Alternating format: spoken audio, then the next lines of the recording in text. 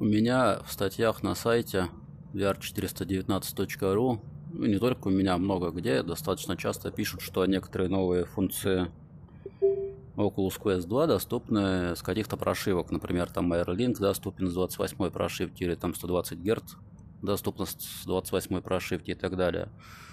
У вас может возникнуть вопрос, а где эту прошивку посмотреть? Я вам сейчас покажу в настройках, либо в настройках приложения, у меня сейчас 29 здесь, видите, с этой новой менюшкой, либо в настройках вот здесь. Мы идем в настройки, и здесь крутим до информации.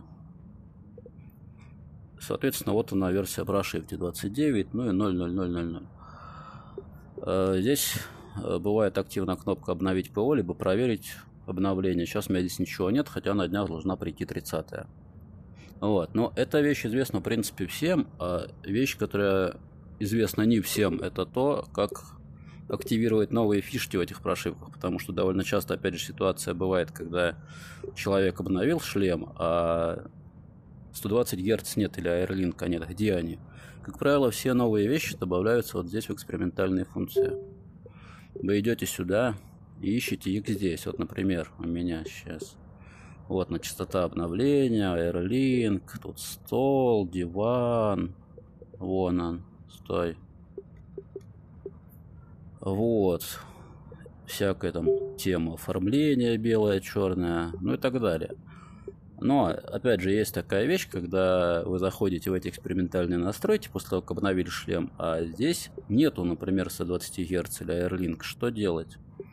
Прямо здесь у вас есть вот эта кнопка «Сбросить экспериментальные настройки» по умолчанию. Это не сброс шлема. Сброс шлема это другое. Сброс шлема это когда вы сбрасываете все приложения, целиком возвращаете его к 20 настройкам. Конкретно вот эта вещь, это сброс элемента экспериментальных настроек.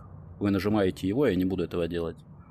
Ваш шлем попросит перезагрузки, вы перезагружаетесь, снова заходите сюда, и у вас появляются вот эти пункты. Если они у вас не появились После этого можете сделать это еще раз.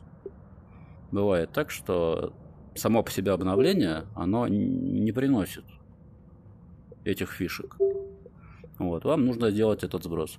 Ну, если в этом случае не помогло, то опять же у Facebook и Oculus есть такая вещь, что они не для всех не сразу запускают обновления. С Airlink так было, когда у кого-то эта галочка была активна, у кого-то не была активна.